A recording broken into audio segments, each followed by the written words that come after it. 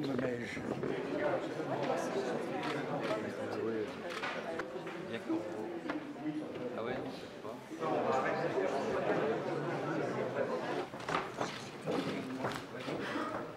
ne sais pas si j'aurai l'occasion de parler, s'il me laisse parler, oui.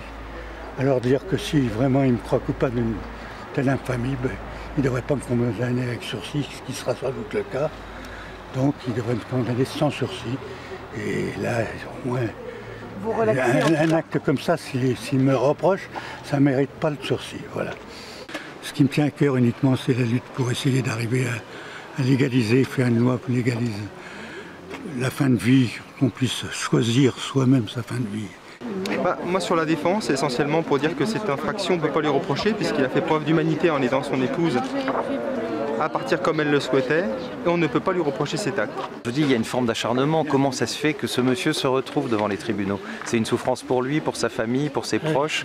Euh, et donc, je pense que oui, la, la- la seule solution, c'est euh, l'acquittement et c'est une interpellation aux, euh, aux parlementaires. Il faut changer la loi.